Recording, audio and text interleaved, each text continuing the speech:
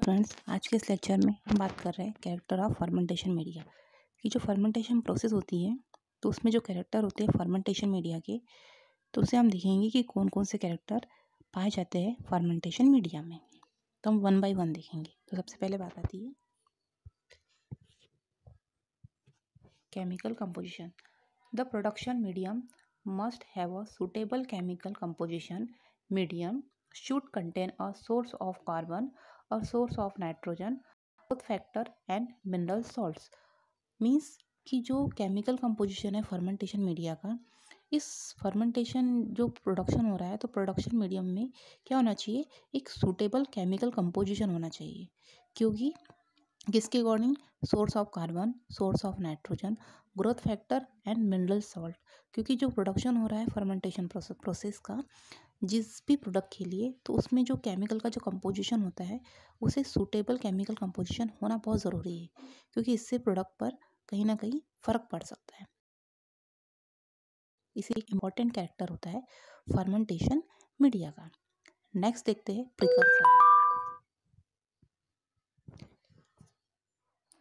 it's certain fermentation the media should supply the required precursor for better yield of a desire product means जो certain fermentation process है, इसमें media के better yield and desire product के लिए क्या किया जाता है? रिक्वायर्ड प्रिकर्सर की सप्लाई की जाती है अलग से, ताकि जो फर्मेंटेशन प्रोसेस हो रही है, उसमें किसी प्रकार से भी प्रॉब्लम क्रिएट ना हो। इल्ड क्या हो? बेटर इल्ड के लिए मीडिया के बेटर इल्ड के लिए अलग से क्या किया जाता है?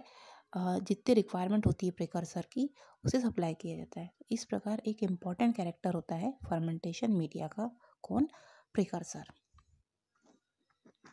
नेक्स्ट बात करते हैं buffering capacity maintenance of pH in the optimum range is necessary for making the process successful since acid and base compound depending on the nature of the fermentation process, accumulated during the process of fermentation media. Means optimum range में optimum range में pH को maintenance करने के लिए जो process होती है, बहुत इंपॉर्टेंट होती है, ठीक है?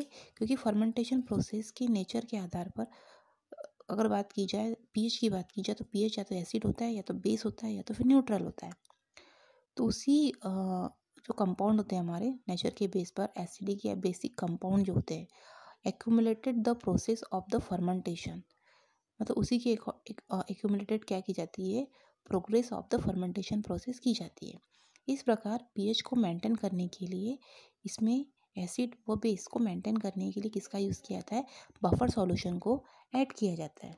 ठीक है? नेक्स्ट देखिए, जैसे यहाँ लिखा हुआ है to contain the pH of the medium buffer should be added to the medium मतलब बफर जो ऐड किया जाता है कौन सा यूज़ किया जाता है? हमारा कैल्शियम कार्बोनेट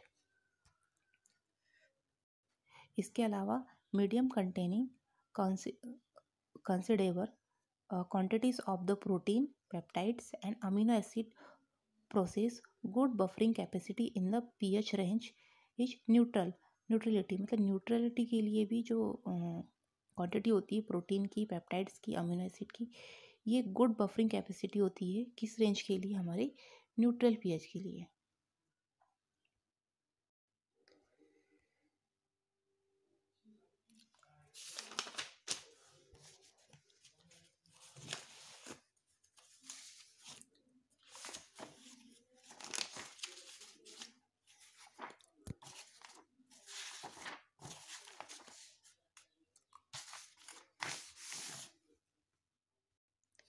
नेक्स्ट है हमारा anti foaming agent foaming is a serious problem in the fermentation industry जो फोम है फोमिंग है, एक सीरियस सीरियल प्रॉब्लम है सीरियस प्रॉब्लम है काहे की? फर्मेंटेशन इंडस्ट्री की. Foaming can be invite contamination the fermentation medium is also cause the problem of the fermentation means होता है कि फोमिंग जो है इन्वाइट करता है कंटामिनेशन को। मतलब फोम अगर जनरेट होगा तो कंटामिनेशन आएगा। Fermentation media also caused other problem of the इसके वजह से क्या होता है फर्मेंटेशन मीडिया में? और भी बहुत सी प्रॉब्लम्स कॉज होती है, जो प्रॉब्लम क्रिएट करती है फर्मेंटेशन मीडिया में। हैंस डीफोमिंग जैसे कि hard oil mix with acted octadecanol of for penicillium fermentation fermentation की प्रोसेस में जो पेनिसिलियम फर्मेंटेशन है, उसमें डीफोमिंग एजेंट के रूप में किसका यूज़ किया जाता है? हार्ड ऑयल का हार्ड ऑयल को मिक्स किया जाता है किसमें? एक्टेडे कैनॉल में। Should be use for controlling foam जिससे क्या किया जाता है? फोम को कंट्रोल किया जा सकता है फर्मेंटेशन मीडिया में। This defoaming are added to produce medium before sterilization और इनकॉर्पोरेशन ऑफ़ आफ्टर स्टरलाइजेशन और एडिंग ड्यूरिंग द फर्मेंटेशन मतलब स्टरलाइजेशन की प्रोसेस के बाद इसमें क्या किया जाता है? इस मतलब फर्मेंटेशन की प्रोसेस जब भी स्टार्ट होती है तो सबसे पहले क्या किया जाता है? स्टरलाइजेशन की प्रोसेस होती है, ताकि फर्मेंटेशन प्रोसेस में किसी प्रकार का कंटामिनेशन ना हो। तो उसी समय, उसी के बाद ही, या उसके पहले, या उसके बाद क्या किया जाता है? इस एंटी डीफोमिंग एजेंट को ऐड किया जाता है इसके अलावा मैं कुछ एंटीफोमिंग एजेंट के द्वारा भी किसी फर्मेंटेशन प्रोसेस में बन रहे फोम को ख़त्म करने के लिए लिमिटेड अमाउंट में एंटीफोमिंग एजेंट का यूज़ किया जाता है। एंटीफोमिंग एजेंट को किसी फर्मेंटेशन प्रोसेस में मीडिया के स्टलाइजेशन के बाद ऐड किया जाता है। ठीक है? बाद में भी ऐड कर सकते हो, पहले भी। तो मोस्टली क्या किया जाता है? स्टरलाइजेशन के बाद में ऐड किया जाता है। अगर मैं एंटीफोमिंग एजेंट की बात करूँ तो एंटीफोमिंग एजेंट के रूप में अधिकतर ऑल किया जाता है। इसके अलावा कुछ कर्ड एंटीफॉर्म जैसे कि एनिमल एंड वेजिटेट, वेजिटेटिव या वेजिटेबल ऑयल या फिर ऑयल मटेरियल्स का यूज़ भी as a anti foaming agent के रूप में किया जाता है। इस प्रकार ये भी इंपॉर्टेंट कैरेक्टर होता है किसका फर्मेंटेशन मीडिया का।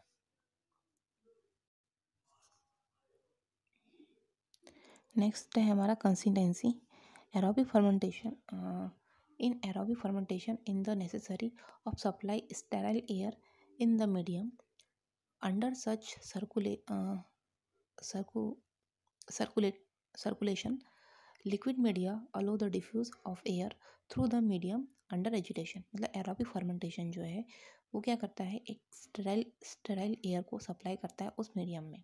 जिससे वो जो मीडियम में सर्कुलेट फॉर्म में क्या होता है? सर्कुलेट होता है फ़ोन एयर एज अ डिफ्यूज़न के फॉर्म में। साथ ही वहाँ पे एम्पेयर प्रेजेंट रहते हैं, जो क्या करते हैं, उस एयर को मिक्सिंग करने का काम करते हैं। Fermentation media should not be viscous मतलब ये जो फर्मेंटेशन मीडिया है, वो कैसा होता है? विस्कस नहीं होता। एरोबिक फर्मेंटेशन मीडिया में स्टायर एयर क्या की जाती है? सप्लाई की जाती है। सब कल्चर में माइक्रो ऑर्गेनिज्म की ग्रोथ एंड मेटाबॉलिक एक्टिविटी के लिए सफिशियंट अमाउंट में ऑक्सीजन क्या की जाती है? प्रोवाइड की जाती है। क्योंकि जो माइक्रो ऑर्गेनिज्म है, उनको ग्रोथ के लिए, क्योंकि माइक्रो कैसे हमारे aerobic micro organism aerobic micro organism को ऑक्सीजन की रिक्वायरमेंट होती है तो ऑक्सीजन प्रोवाइड की जाती है। तो उस कंडीशन में जो ऑक्सीजन है, उनकी ग्रोथ एंड मेटाबॉलिक इम्पोर्ट के लिए क्या होती है? बहुत ही यूज़फुल होती है। कंडीशन में, इस कंडीशन में लिक्विड मीडिया में diffuse of air in the medium मतलब जो एयर होती है, वो लिक्विड मीडिया में क्या हो जाती है? डिफ्यूज़ हो जाती है।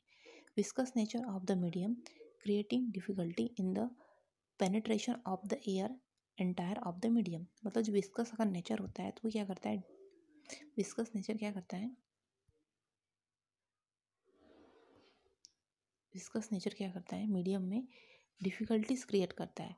And penetration of the air entire the medium मतलब डिफ़िकल्टी जिससे आसानी से पेंट्रेशन नहीं हो पाती एयर ठीक है? क्योंकि एयर जो है air is not easily absorb by the liquid medium air जो है ईजिली एब्जॉर्ब नहीं होती किसमें लिक्विड मीडिया में तो इस प्रकार कंसिस्टेंसी भी एक इंपॉर्टेंट कैरेक्टर होता है किसका फर्मेंटेशन मीडिया का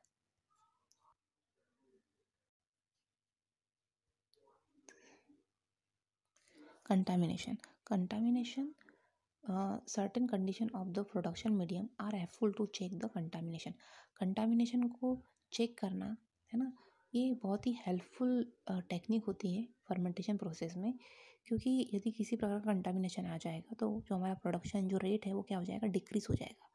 तो इसीलिए समय समय पर कंटामिनेशन को चेक करना मीडियम में बहुत इंपॉर्टेंट कंडीशन है, ठीक है? अगर इसके एग्ज़ाम्पल की बात की जाए तो for example low P H value in citric acid production using aspergillus niger avoid contamination यदि low low P H value पर साइट्रिक एसिड का प्रोडक्शन किया जाए और साइट्रिक एसिड की प्रोडक्शन के लिए किसका यूज़ किया जाता है? एस्परजिलस नाइसर स्पीसीज़ का। तो हम आसानी से अवॉइड कर सकते हैं कंटामिनेशन को। इस प्रकार कंटामिनेशन एक इंपॉर्टेंट कैरेक्टर होता है फर्मेंटेशन मीडिया का। नेक्स्ट है recovery. Recovery of the desire product is an important criteria. मतलब रिकवरी क्या है? एक इंपॉर्टेंट डिज़ायर प्रोडक्ट के लिए एक इंपॉर्टेंट क्राइटेरिया है। Component of the medium should be such the separation and extraction of the product. Become to easy and जब इस प्रकार फर्मेंटेशन प्रोसेस क्या है, एक इंपॉर्टेंट रिकवरी जो है, एक इंपॉर्टेंट कैरेक्टर है, जिसमें आसानी से हम सेपरेशन कर सकते हैं इवापरेशन कर सकते हैं एंड एक्सट्रेक्शन कर सकते हैं।